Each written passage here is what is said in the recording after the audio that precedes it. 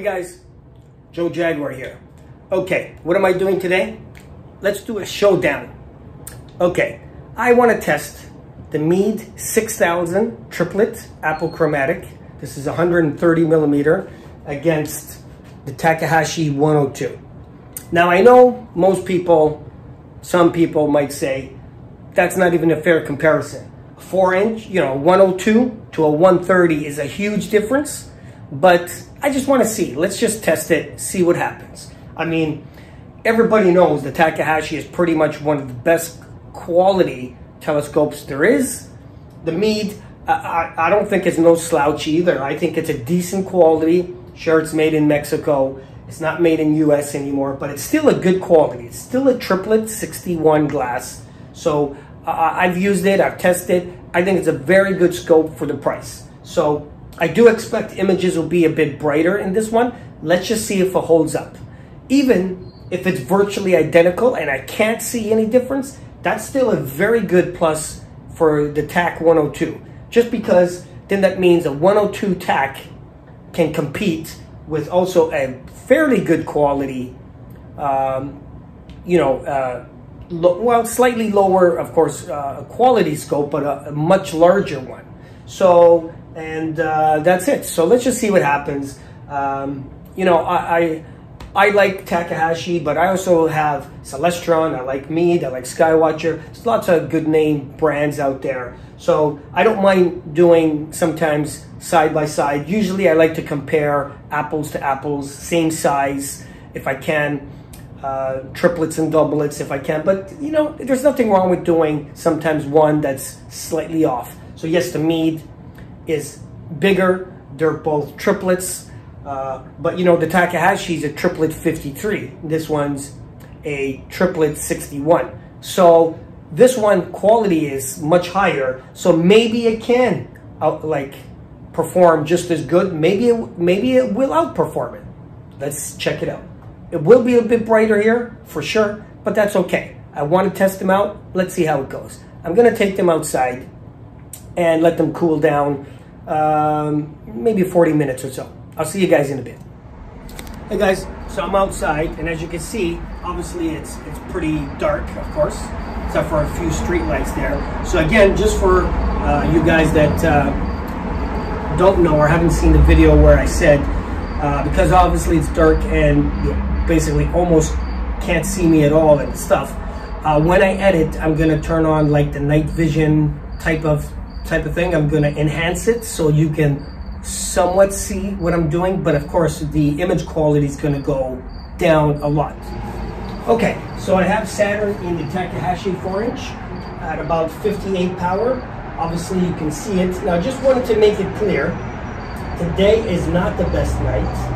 It's a little bit hazy, but you know, I'm testing them at the same power, same eyepiece. So of course it's small, I can see Triton. So let me try to get the needs uh, over there. And uh, that's it. See how I see it? Uh, so I'm using an 18 radian on um, on the Takahashi, and I'm using a 14 on Meade. They're both producing fairly close power. Okay, so I have the Meade on the 14 radian. Yeah, look, they both look very sharp, but you know, it's it's 50 power is not a lot. 58 power, you know, it, it's small type of thing. So obviously, I have to bump up the power and to something where I can look at the ring structure, try to see Cassini division, and just try to uh, you know get it higher power so then I can test it to better detail. Um, so that's it. So I'll see you guys in a minute or two. Let me just switch some eyepieces and uh, come, come back in one minute. Okay, we're at 163 power. That's a 5 millimeter uh, radian on the Takahashi.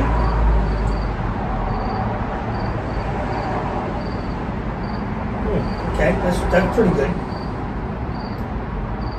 You can see a, a stripe on it, Triton. You can easily see uh, fairly easy see the Cassini division is a bit shaky.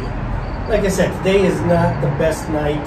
Yesterday was much, much clearer, uh, but I was a little bit tired after doing some work at home.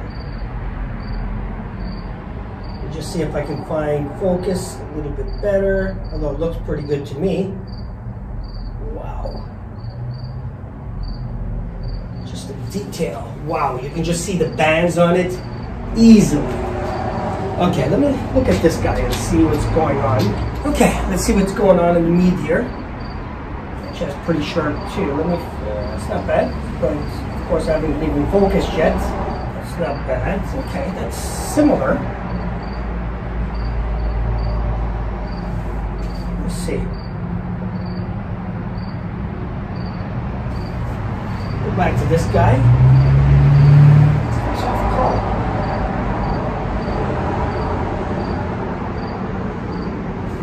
Let me see back on this guy. Just wait for it to stabilize a little bit. It's pretty good too. Hmm.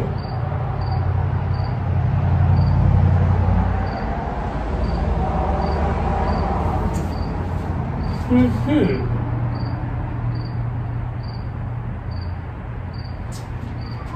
This is close, man. Okay, I think I'm just gonna have to take it to the extreme power and see if I can just push. See what's gonna happen now. And this guy, three millimeters, taking me to 303 power. That's pretty much the limit of this guy.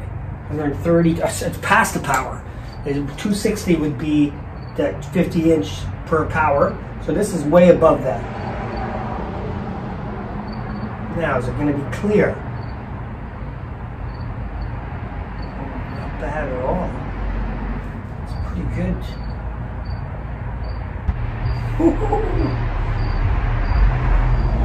Saturn is just one of those things you have to see with the naked eye. So looking at it in a picture, on a computer, uh, on a screen, on a book, it just does not do it justice want to enjoy the view.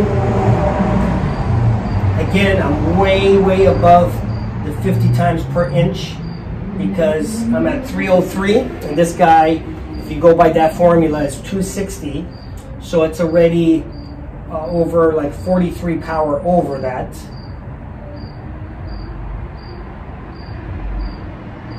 Just not rock solid at this power, it's it's nice. Want to keep enjoying the view. Let it settle down. This is long enough to get a really good. Okay, okay. I got it mentally in my eye. Okay, the only downfall is going to be if I use a 3 millimeter on the Takahashi, it's going to be 272. Um, it's still a little bit less power, than the Meade, um, anything else. Um, okay, it's gonna have to do. It's gonna have to do right now because I can't ever let you go. Okay, there we are. Center this guy up. Get it switch the eyepiece over and it's over. Let's tighten this guy down.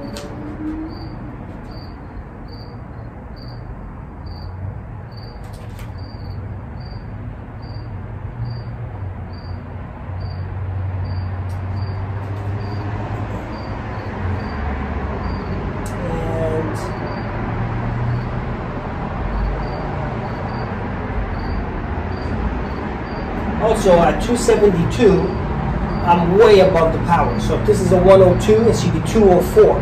So practically almost 70 power above. Even uh, I'm above more than the Meade one. I'm looking and enjoying. Sorry if I, uh, I'm not talking all the time, but of course I want to try to uh, look at what I'm seeing, study it, look at the detail, let it get steady. So I just don't want to be breathing, talking. Um, so I can tell you guys what I see. I think. Okay. I'll talk to you guys inside. That way it's not so dark. Images were very, very close. I mean, very close. Um, I think I saw the Takahashi just a little bit sharper. And what I like to look is like on the ring itself. Is the ring more you know, like almost like a knife edge is that Cassini division, nice and clear or thicker gap. You know, so I, I like to look at Saturn like that because you could see a little bit more detail um, uh, like that. So it's, I would say, virtually like 98% identical. I think, again, and it's hard to judge when it's just so little. The Takahashi was just a hair, you know, sharper but that's really it. It was it's pretty close. So I guess um, I guess you could look at it a few ways. The Takahashi is such good quality, it could be on par with another good quality, not as good quality, but still a medium quality, much larger um, uh, scope.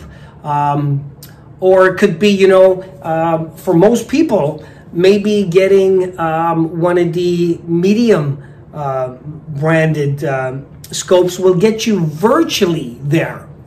Now, sometimes, guys, also, you can't just do one test, obviously, and then that's the end of that. You know, sometimes you have to do another test, another test. Uh, you know, maybe the sky conditions wasn't as good today as it could have been yesterday, as I said in the beginning. So maybe, you know, when it's perfect seeing, maybe then the the better quality one starts to get ahead a little bit more type of thing. Maybe if I were to push it to instead of 272 power on the Takahashi up to 303, the exact match, then maybe I would have saw it would have been larger. Maybe I would have saw more. Uh, I mean, it could go the other way too. Maybe you're blowing it up way beyond uh, what it should be. Maybe it would have gotten fuzzier. Hard to tell. But as far as today's testing, um, same night, same eyepieces type of thing, both performed, you know, fairly good. They both had the same cooling.